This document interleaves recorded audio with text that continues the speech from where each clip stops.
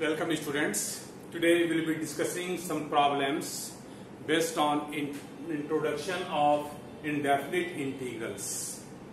And these problems will be directly based on formula. In the previous video we have already discussed some very basic formula and we'll start today with some exercises, with some problems now. So let us start with this question. Evaluate the integral 6x to the power 5 minus 2 upon x to the power 4 minus 7x plus 3 upon x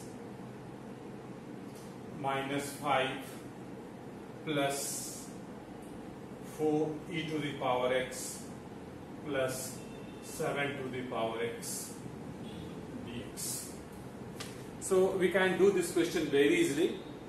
Uh, here we have to integrate term wise one by one and all the integrals are based on very basic formula.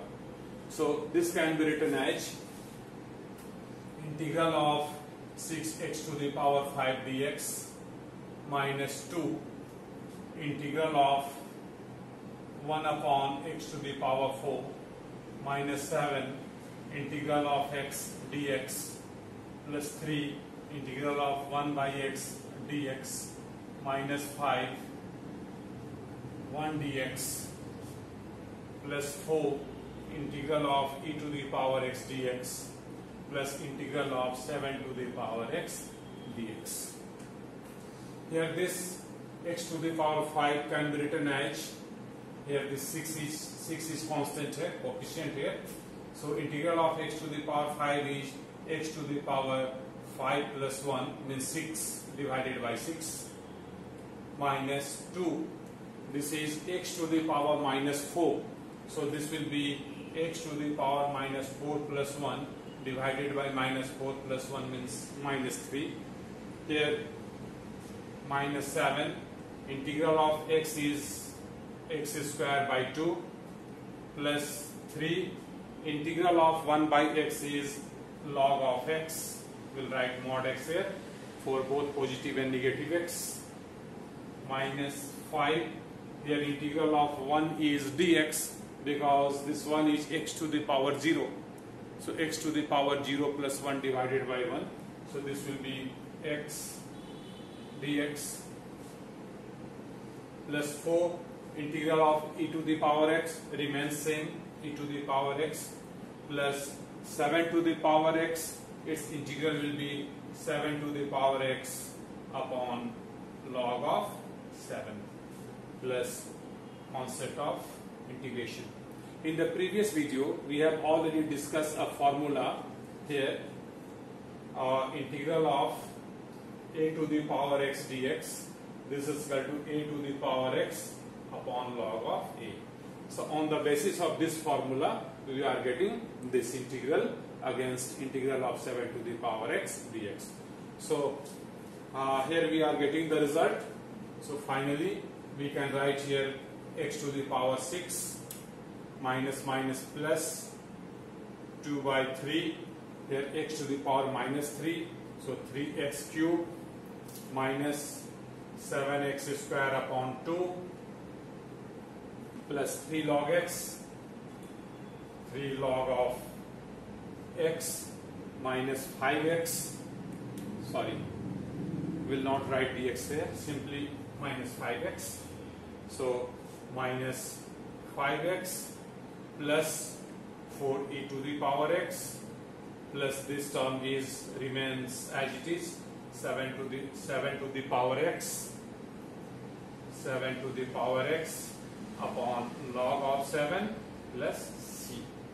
This is the answer. So this is totally formula based. We can uh, get the result very easily. Now let us see next question.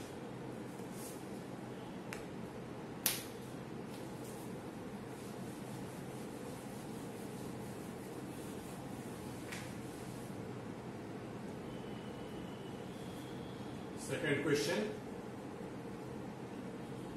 evaluate integral of sec x into sec x plus tan x dx. This question is also very simple question. Let us see how we do it.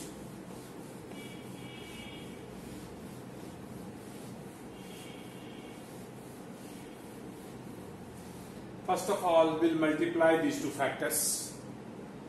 So we are getting here integral of sec square x plus sec x tan x dx. Now, uh, these two terms can be integrated separately. So we'll write here integral of sec square x dx plus integral of sec x tan x dx. Again, this is totally formula based. So you know the formula. We have already discussed all this formula in the previous video. You can go through these formulas and remember it. So integral of sec square x is tan x and integral of sec x tan x is sec x plus constant of integration c. This is the answer. Now we'll see next question.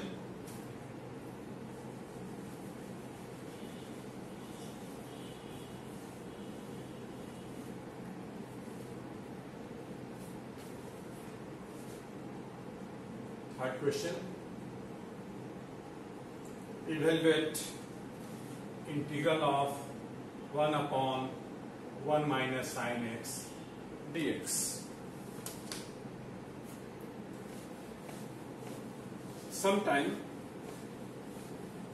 integrand needs to be convert in some standard form right now this is not in, in the standard form so it will not be easy to integrate it. So first of all here we will multiply numerator and denominator both by 1 plus sine x. So we are getting an integral of 1 plus sine x and here 1 minus sine x into 1 plus sine x is 1 minus sine square x dx. So this is integral of 1 plus sine x upon cos square x dx. Now here we are again we are getting two integrals here.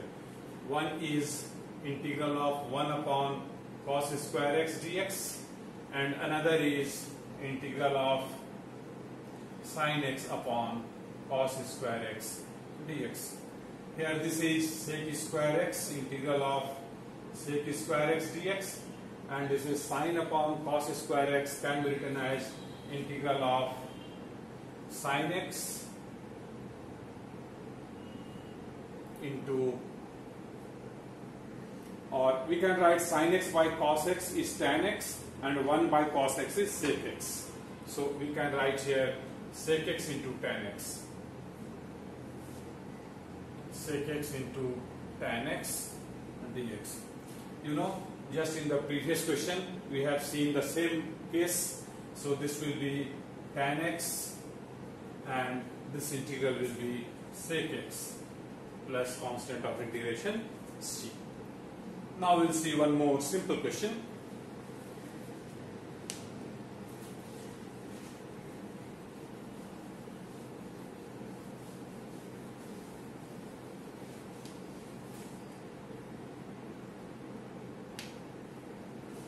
Next question, fourth.